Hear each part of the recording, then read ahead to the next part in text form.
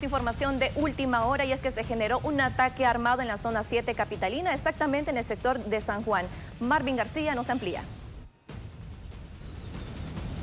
Buenos días compañeros, buenos días amigos televidentes. Nos encontramos en la calzada San Juan y novena avenida de la zona 7 entre la colonia Quinta Samayoa y el Trébol.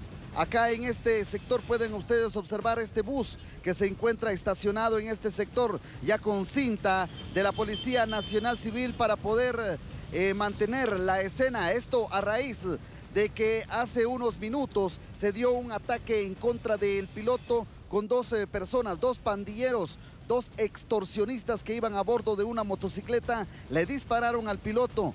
Del percance resultaron dos personas heridas. De acuerdo a lo que se tiene extraoficialmente, es que eh, por medio de un taxi se llevaron eh, personas ajenas al piloto, pero no se mantiene el registro por parte de socorristas de los bomberos municipales quienes llegaron a este lugar. Únicamente por parte de su portavoz han manifestado que han trasladado al eh, Seguro Social al 719 a Julio Roberto Hueso de 34 años de edad que fue trasladado con una de las unidades de los bomberos municipales quienes llegaron hasta este lugar y auxiliaron. La persona herida se trata de un eh, pasajero que los impactos le dieron en el hombro izquierdo. Ahí lleva la herida mientras que el piloto fue trasladado, como repito, en un taxi de acuerdo a las investigaciones que mantiene la Policía Nacional Civil. Ustedes pueden observar parte de eh, los impactos que eh, mantiene este bus que circula de San Raimundo hacia el centro de la capital. Eso es lo que se mantiene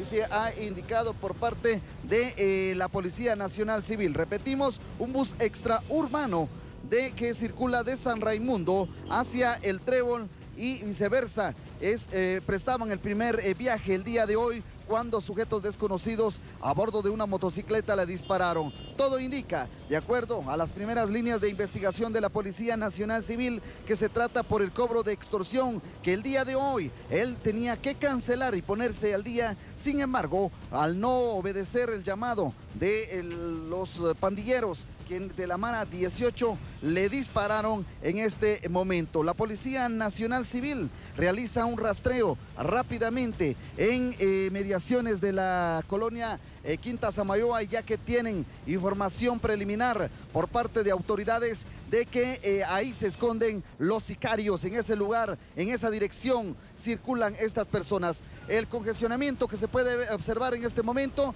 esto a raíz que se mantiene el bus eh, acá estacionado a la espera del Ministerio Público. Pueden ustedes observar, amigos televidentes, parte de los impactos de bala que tiene esta del lado del piloto, donde los eh, desconocidos, los pandilleros, eh, dispararon tres impactos de bala. Uno de ellos eh, le dio al piloto, que no se, desconoce de momento el nombre del mismo, quien fue trasladado rápidamente a un centro asistencial en un taxi. Aún no tiene registro la Policía Nacional Civil, mientras que, como repito, los bomberos municipales trasladaron de este sector a Julio Roberto Hueso, de 34 años de edad, a la emergencia del hospital eh, del X719. La información que nosotros podemos llevarle con estas imágenes que nosotros le dejamos del embotellamiento vehicular que se ha registrado acá en la calzada San Juan y Novena Avenida donde usted puede observar han tenido dificultades los eh, automóviles,